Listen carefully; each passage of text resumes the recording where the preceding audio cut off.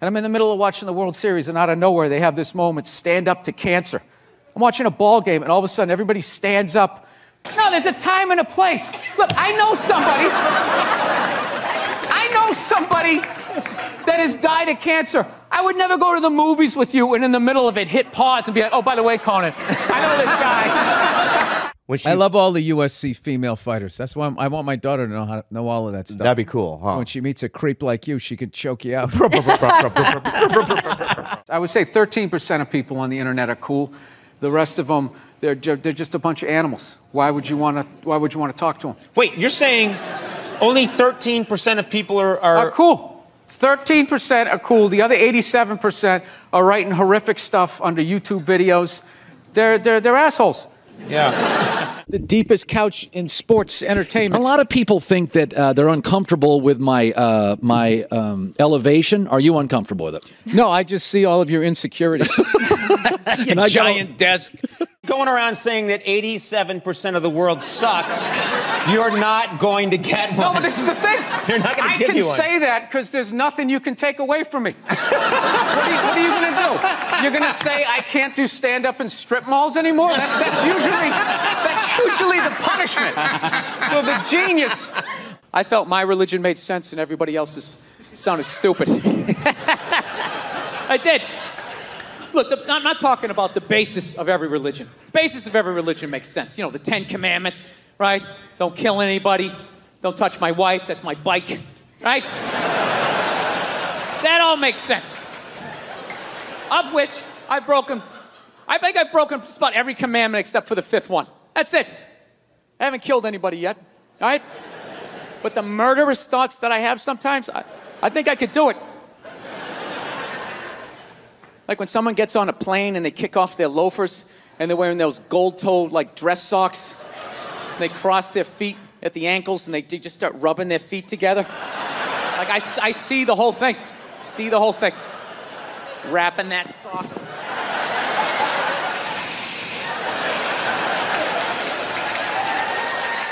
Back It's here. worse than that for people. Everyone's got an iPhone, you know? Hey, look. No, I can't say that. I was gonna say he's gone. They still came out with another one, right? That's true, right? Oh, look. When David Lee Roth left Van Halen, could Eddie not play guitar anymore? You know what I'm saying? Right. That's a good analogy. What makes you feel old about watching TV? Uh, there's, well, music, there's no guitar solos anymore. And then for some reason, with all this technology, millennials, if you take a full water bottle and you flip it in the air and it lands upright, they run out of the room like they just saw a witch. Well, what did you say about the military that got people so mad? Or this one guy so I was mad? just saying, like, yeah, the guy who flies the fighter jet, okay, and has missile shot at him, that guy's a hero. However, if you're the guy that, like, points in the direction that the plane takes off in, She does the most difficult job on the planet. She's a mother. So immediately I look at my girlfriend. I'm like, really? Being a mom is the most difficult job on the planet? How many mothers died on ice road truckers last season? I'm not trying to be disrespectful, but what would you rather have as a job? You want to scoop scallops off the bottom of the ocean, catching that lobster trap to the back of your head? You'd send them to bed anytime you want and some trumped up charges because you want to have a drink and watch The Price is Right. Evidently, these mothers, they're bending over at the waist, putting DVDs into DVD players. You ever burp a baby and forget to put that towel up there? There's another shirt you gotta wash. Oh, lift with your knees and put it in that machine that does it for you. Dude, any job you can do in your pajamas is not difficult. It isn't. so you got to figure out a way to, like, thin out the herd, and it's too late. It's, no, these are the hard decisions that are going to have to be made. We are, we're here to hear about some Yeah. hard choices. Yeah. So y- you know how I would do it? What? I would I would randomly sink cruise ships. Does your wife watch any of these games with you? Does she? No, she has the female complex multitasking brain. That's why they can't be happy. They they just they just always they're like what is that lizard that can look at two things at once? That's what they're like. So they got the shoes they want, and then they see some other woman walking in going, oh, look at this skinny bitch over here. Women are so overrated, right? We, we went from Wait, wait, what? We Wait, went. wait, what? We went. Wait, we went. what? We went from not listening to them to now. It's just. It's just. You know. It's just. It's. It's ridiculous. Like that. Believe women. It's like all of them. Oh, God. You know what makes women happy? Nothing. Nothing makes them happy, and that is why they are slowly taking over the NFL because it annoys them that that we can just sit there with like a pizza and a drink, like "Eh, that's not holding, and just just be like and enjoy ourselves. I saw a woman a couple months back, professional soccer player, right? She goes on to ESPN or one of these sports channels, going like, I don't understand. How come female athletes don't make as much as male professional athletes? Right? And all of these men had to sit there and act like they didn't know what the answer was.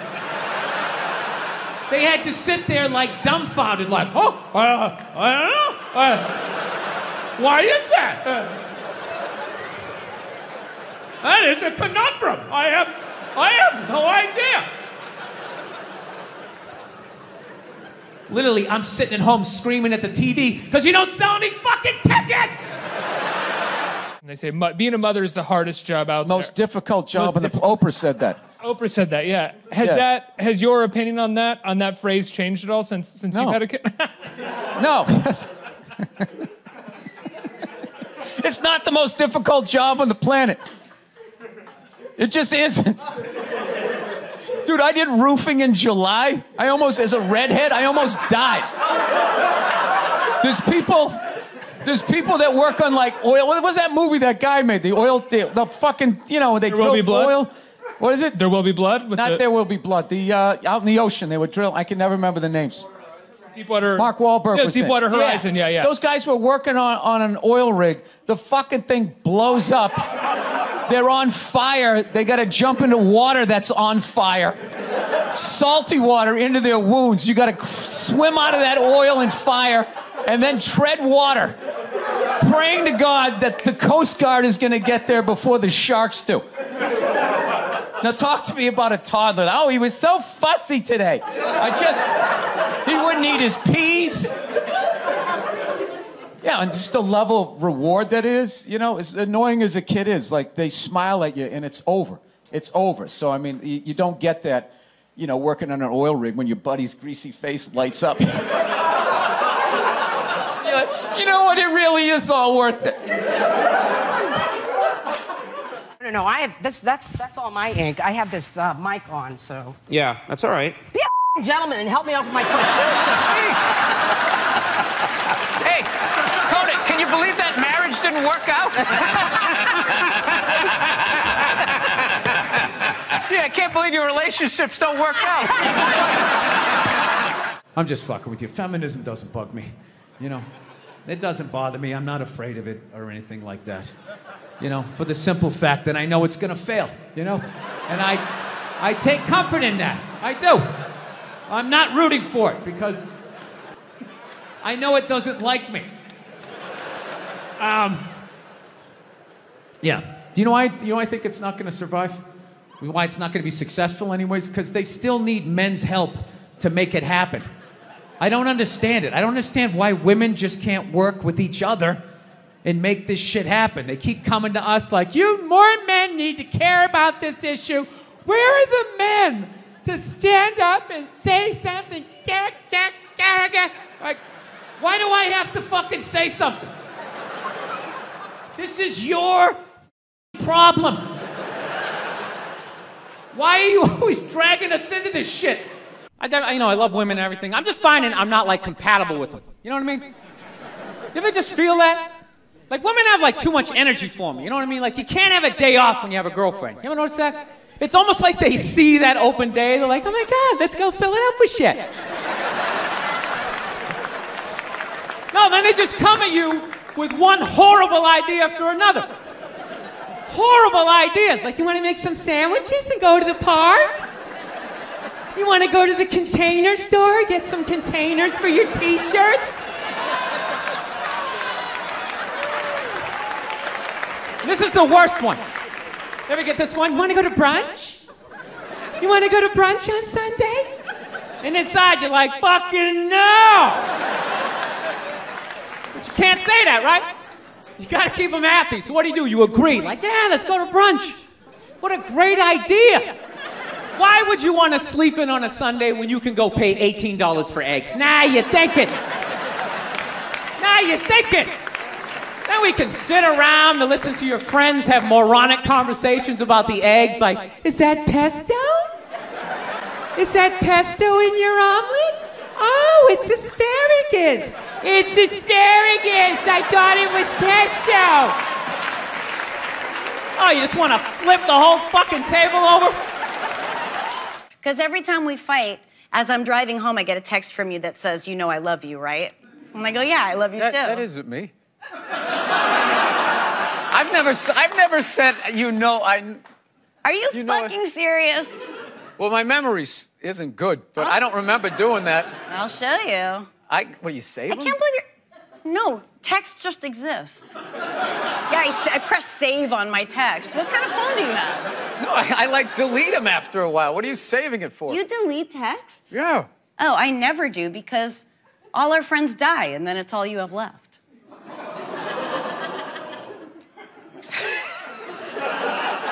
How many of you had? Die? I'm up. I I counted. have a day. huge list. I I'm keep- 30. 30.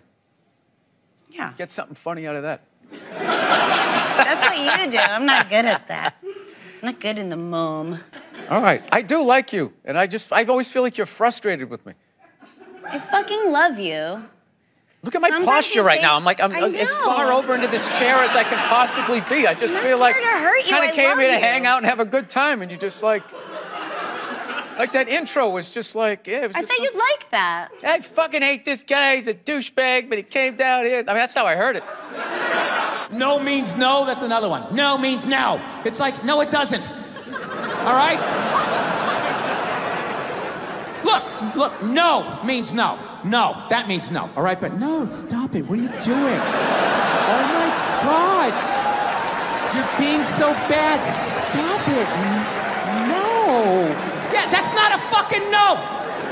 That means I want to do it, but I'm afraid you're going to judge me, so I'm just going to make it look like it was your idea so you don't figure out that I've already performed this act with 40 other fucking people. Right? But then, then you go to court and you get a bad read, and there's some guy reading it. Uh, Your Honor, she said no. Stop it. What are you doing? You're being so bad. Yeah, and you're just sitting there like, she didn't fucking say it like that!